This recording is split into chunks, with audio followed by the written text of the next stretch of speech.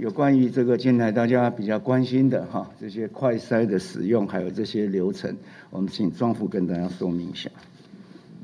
呃，有关就是呃，大家在询问有关 COVID-19 的一个快家用快筛试剂的部分哈。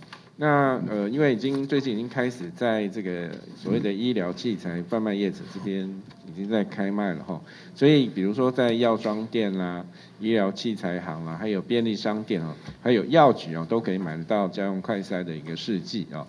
所以呃，如果说要购买，说要先先确认哦，这个产品名称有没有家用，还有包装是不是有刊载所谓的防疫专案核准制造。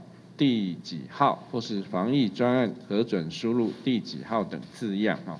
那至于呃你买的这个呃是不是你买的这个这个快筛试剂是不是呃食药署的一个核准的产品？那你可以到食药署的网站哦去查询哦。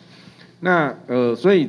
经过呃，它上面产品里面都会有这个使用说明书，那就可以利用这个说明书来进行这个裁剪跟操作。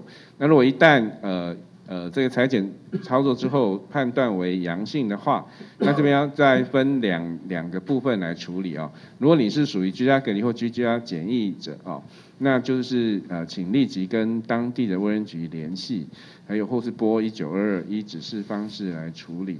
那另外就是这个呃，你这个裁剪的器材必须要用塑胶袋密封包好，那一定带至这个社区裁剪院所交给院所人员哦。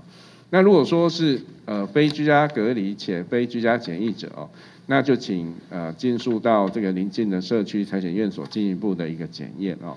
那这个部分也要特别注意戴好这个口罩哦。那没有不要搭乘大众运输工具哦。那在呃。